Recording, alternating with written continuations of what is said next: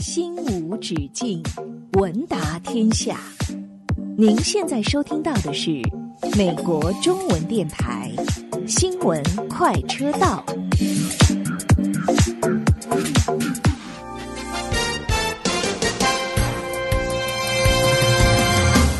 各位听众朋友，大家好，今天是二零二三年八月十五号，星期二，我是主持人肖芳，欢迎收听正在直播的新闻快车道节目。今天节目主要内容有：第二十一届北加华人运动大会开幕礼在红木城举行；旧金山市长和市府官员在开学第一天强调交通安全；涉嫌干预左州二零二零总统选举，特朗普及十八位盟友被刑事起诉。过去二十年，美国离婚率缓慢下降。中国国台办说，赖清德台独分裂谬论将为台湾带来兵凶战危。中国暂停公布今年来屡创新高的青年失业率。卢布汇率暴跌，俄罗斯央行升息十四码，就是三点五个百分点。全球卖座电影《芭比》因违反道德，在阿尔及利亚被停映。下面请听今天节目的详细内容。首先，一起来关注湾区新闻。本台消息，由北加州华人文化体育协会主办的第二十一届北加华人运动大会，于八月十二号上午在红木城红山高中田径场举行了盛大开幕式。该届运动会主题为“守望初心，再起新城”。旧金山湾区一百零九家团体组成的方阵队伍出席了开幕礼，将近一千将近五千人参加了当天各项文化体育活动。开幕式当天举行了田径锦标赛、太极内家拳锦标赛、草地排球锦标赛、广场舞比赛、二十一届世界学生绘画比赛等活动。本台记者陈永清八月十五号旧金山报道。旧金山市长布里德十五号与警察局长威廉史格、旧金山市交通局局长杰夫图姆林、旧金山联合学区学区总监马特维恩博士一起提醒社区，在旧金山联合学区开学的第一天，行人和交通安全的重要性。今年，旧金山交通局将为旧金山一百零六所公立和私立学校提供路口警卫。路口警卫计划包括一百八十名路口警卫，覆盖一百五十四个城市的十字路口。大约五万名学生就读于旧金山联合学区学校，学校拥有一万名教职员工。大约一半的注册学生将使用 Muni 进行日常通勤。交通局局长图姆林说：“无论是乘坐 Muni、乘骑自行车、步行、滑板，还是拼车。”我们祝愿每个人都有一个美好而安全的学年。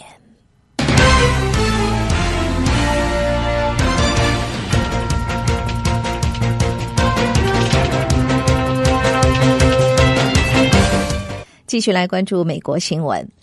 周二下午，拜登总统在威斯康星州宣传经济议程时，就夏威夷毛伊岛野火灾情发表了评论。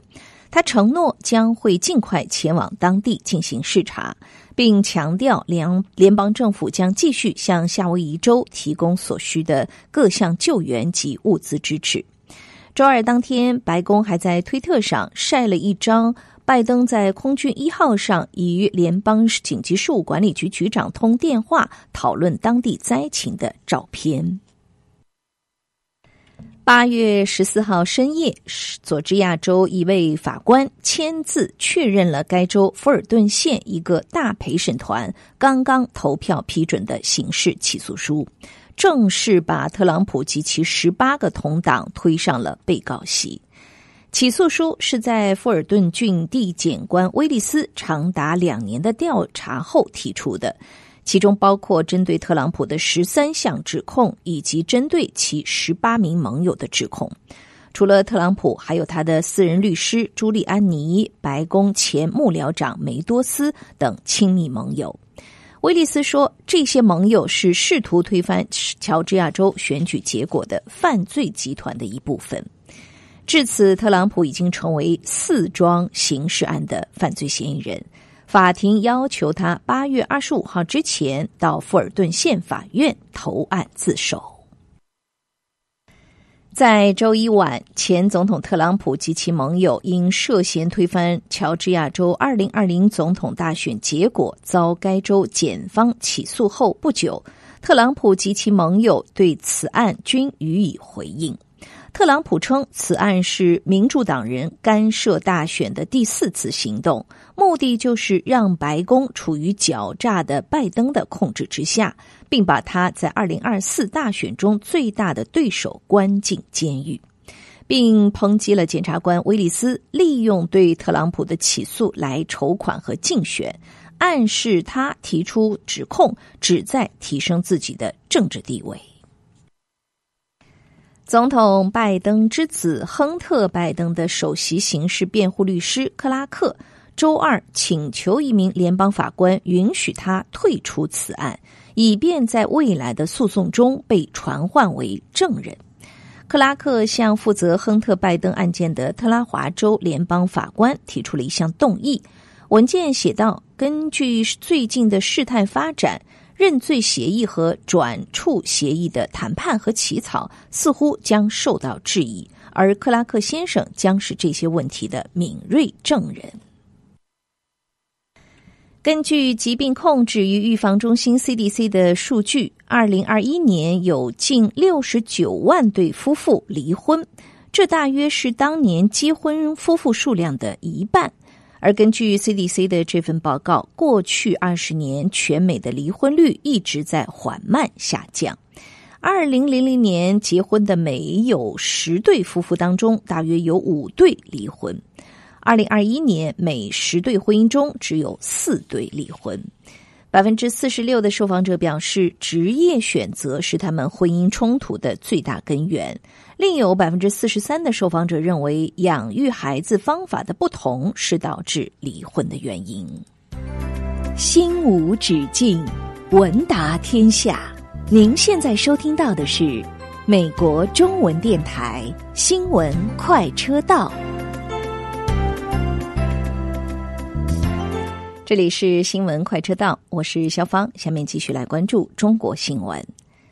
中国人民银行十五号下调常备借贷便利利率十点子，即日起生效。隔夜利率下调至二点六五厘，七天期下调至二点八厘，一个月期下调至三点一五厘。人行同时下调中期借贷便利操作利率十五点子，以及下调逆回购操作利率十点子。这是央行三个月内第二次下调政策利率。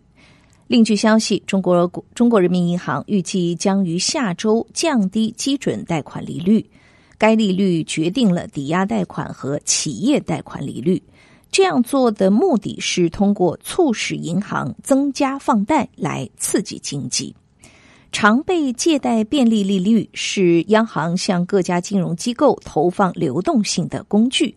其主要作用是提高货币调控效果，有效防范银行体系流动性风险，增强对货币市场利率的调控效力。点子则是外汇交易中最小额的单位。本台综合消息，针对八月起暂停发布青年人等分年龄段城镇调查失业率一事。中国国家统计局十五号回应表示，待相关统计方法制度进一步完善后，会及时恢复发布。中国国家统计局新闻发言人十五号在国新办新闻发布会上对暂停公布的原因作出说明。他表示，经济社会在不断发展变化，统计工作需要不断完善，劳动力调查统计也需要进一步健全优化。目前暂停发布相关数据，不影响整体失业率统计调查。总体失业率是可以反映经济运行中就业整体情况的。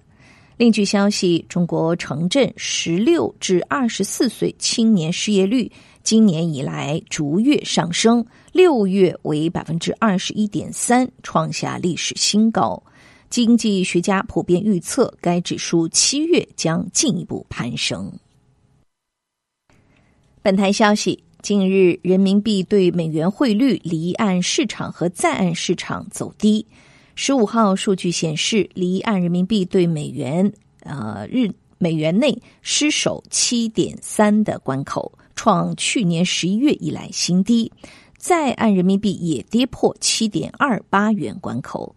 有业内人士表示，近期人民币的汇率有所波动，但仍然是一种持续稳定的货币，为经济发展提供了可靠支撑。中国国家发改委十五号表示，增加安排中央预算内投资五亿元人民币。支持河北、北京、黑龙江、吉林、福建以及重庆六省市受灾严重地区基础设施及基本公共服务设施应急恢复重建。发改委说，加上前两批已经安排的两亿元，今年已累计安排七亿元，专项用于受灾严重地区灾后应急恢复重建。中国外交部十五号回应赖清德过境美国，中方是否会进行军事演习？提问时，批评赖清德顽固坚持台独分裂立场，是彻头彻尾的麻烦制造者。中国外交部说，中方正密切跟踪事态发展，将采取坚决有力措施，捍卫国家主权和领土完整。另据消息，中国国台办发言人朱连凤十五号在接受美国彭博社专访时，批评赖清德冥顽不化，更利用过境窜美，鼓噪台独分裂谬论，再次表明他赖清德是不折不扣的台独工作者，彻头彻尾的麻烦制造者，其所标榜的所谓和平论调完全是谎言。这样的人只会给台湾带来兵凶战危。日本首相岸田文雄十五号以自民党总裁名义向靖国神社供奉祭祀费，内阁成员之一的现任大臣高市早苗进参拜靖国神社。中国外交部说，中方已向日方提出严正交涉，表明严正立场。外交部发言人王文斌强调。靖国神社是日本军国主义发动对外侵略战争的精神工具和象征，供奉有二战甲级战犯。日本政要涉及靖国神社的消极动向，再次反映出日方对待历史问题的错误态度。中国国防部长李尚福十五号在莫斯科国际安全会议上称，中国与俄罗斯的军事领域合作不针对第三国。他还指出，中国愿在上合组织框架内加强安全工作，同时加强与伊朗和白俄罗斯的军事合作。李尚福是应俄罗斯国防部长绍伊古、白俄罗斯国防部长赫列宁的邀请。前往前往俄罗斯出席莫斯科国际安全会议，并访问白俄罗斯。另据消息，李尚福十五号与俄罗斯国防部长绍伊古举行工作会晤。绍伊古在会晤中强调，俄中两国是战略伙伴、好邻居和诚实的和忠诚的伙伴。两国保持高层军事接触，举行海陆空联合演习，并进行双边和多边合作。美日韩领导人本周将在美国戴维营举行峰会。中国外交部发言人汪文斌十五号说，中方反对有关国家拼凑各种小圈子，反对加剧对立、损害他国战略安全的做法。希望有关国家顺应时代发展潮流，多做有利地区和平稳定与繁荣的事。路透社早前报道，预计峰会将发表联合声明，将提及对北京试图改变台海现状的担忧，以及维护台海和平与稳定的内容。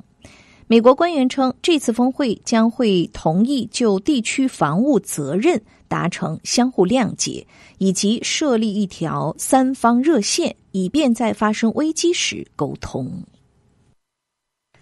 中国国防部十五号表示，中国和印度两军从二十号起一连两天在莫尔多楚楚舒勒会晤点印方的一侧举行第十九轮军长级会谈。双方将围绕解决中印边界西段剩余问题展开积极、深入和建设性沟通。双方同意通过军事和外交渠道保持沟通对话势头，尽快解决剩余问题。在此期间，双方同意维护中印边境和平安宁。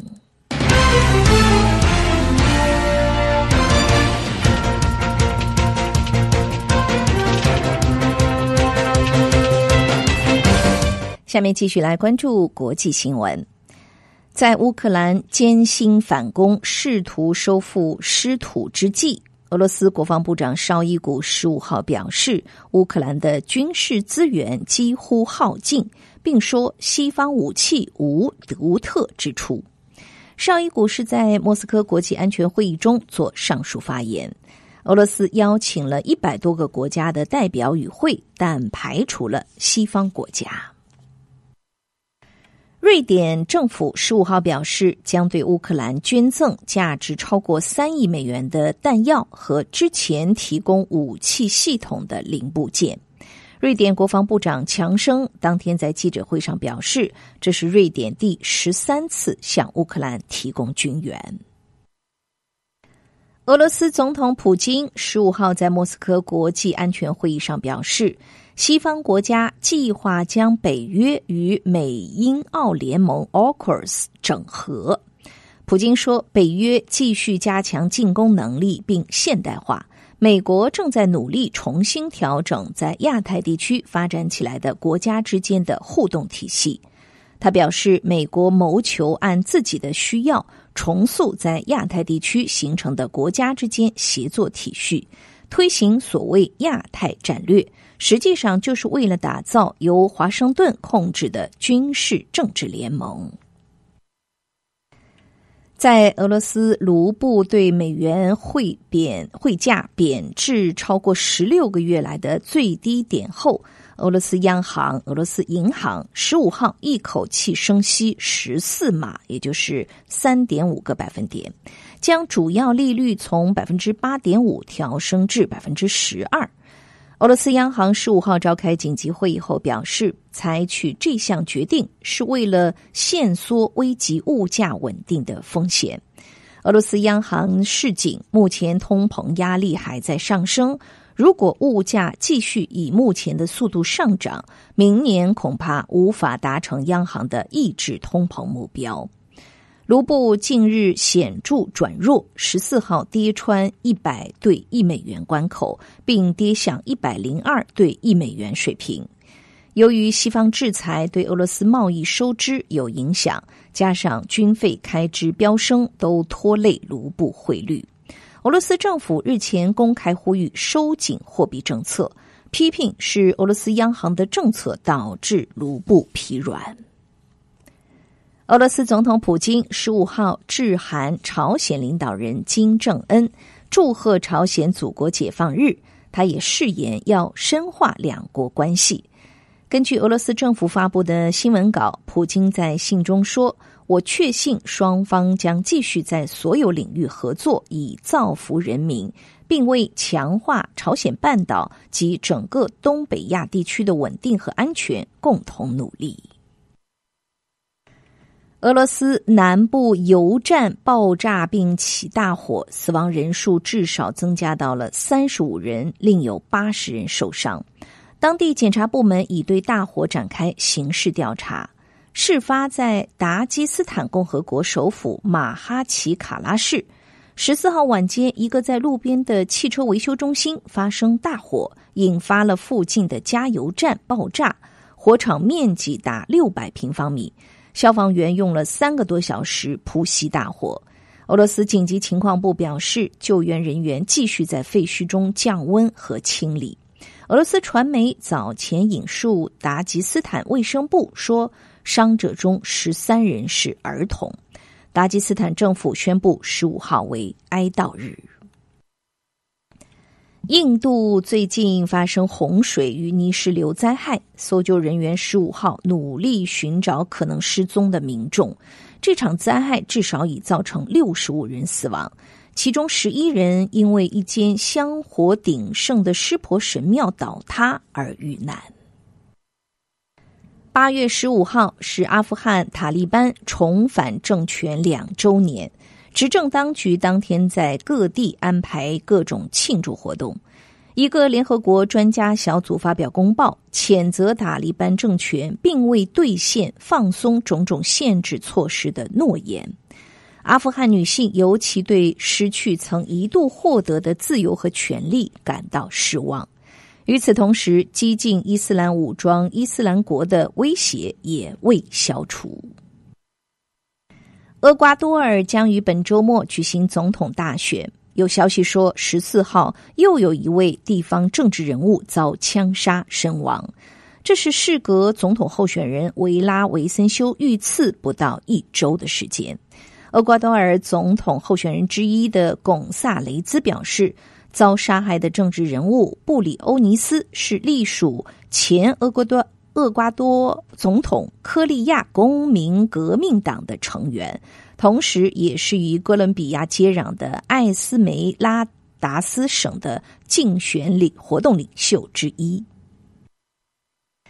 根据当地新闻报道，全球卖座的电影《芭比》因违反道德，遭到阿尔及利亚当局从电影院撤下。这个北非国家加入越来越多阿拉伯国家禁播这部电影的行列。全球票房已突破十二亿美元的《芭比》于七月十九号在阿尔及利亚上映，但八月十三号无预警遭电影院下架。当地发行商宣布下架电影时，并没有说明原因。有媒体援引消息人士的话说，《芭比》是因为违反道德而被下架的。